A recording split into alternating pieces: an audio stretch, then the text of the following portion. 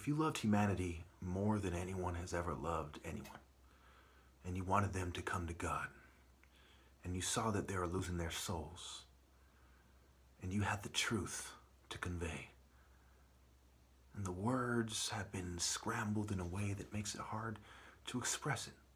No words express what you're really trying to say, but they start to. Would you not start to yell to try to add spirit and passion and heart to those words?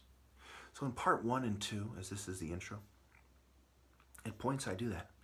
So be prepared to turn down your volume if you have to. I implore you, I urge you, it behooves you to hear me out, especially when I yell. Turn down your volume if you have to. When you make love to each other, you're supposed to pour out your hearts. And your heart is something you cultivate. It's a cycle like the sun.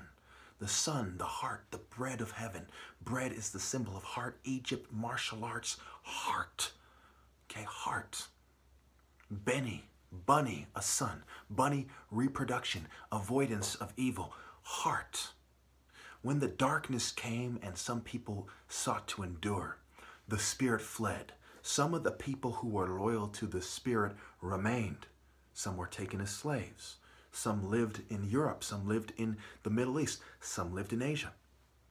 Egypt was invaded and had enemies from the north. Okay, the sea people and so on, the, the Crete, Minos, okay, the Babylonians, the Canaanites from their right, from their east. Okay?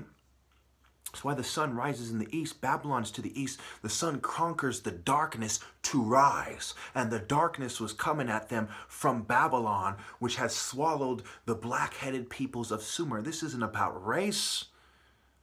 Not all black people are good. Not all these people are good. This is about heart and truth. The Spirit fled to the southwest with the people who sought to maintain the Spirit, but the other followers of their temple were dispersed. The Bible seems to cover, and I'm not a Christian or a Jew or Muslim, it seems to cover the dispersal of the followers and not the angels, so to speak, right? They're angels. What is an angel? It's somebody who strives to be good. He's so good that, man, my child is an angel. He does everything right, right? It went to the southwest, but there was also darkness there. Not every southwestern African, you know, heart of Africa, Nigeria, Biafra, B of Ra, Ba of Ra is a good person.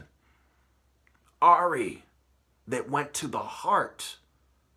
Ari not Neri. Ezi Neri. Is E near E. Is A near E. Is E near A. Ezi Neri. Okay? These are the worldly kings of Ebo. The spirit chose Eri. It came down from the sky. The falcon is the fastest animal. Mont is a great strong warrior that didn't sell out to Hades like Apis.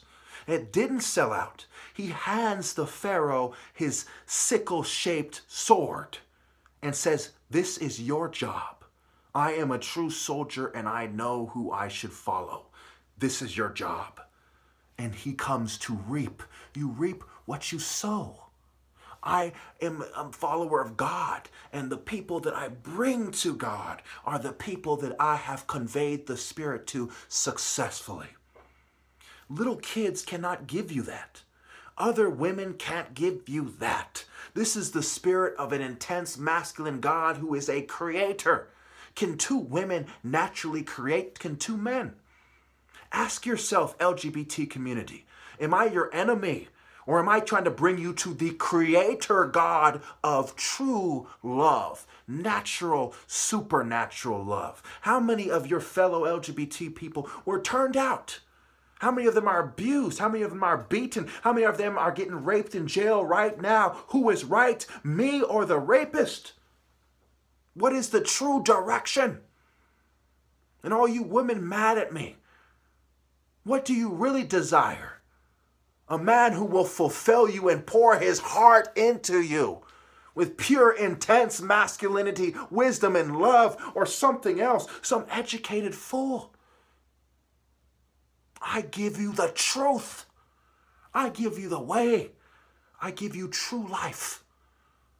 They give you oppression, murder, rape, drugs, unfairness. I am the Pharaoh. You must stand with me.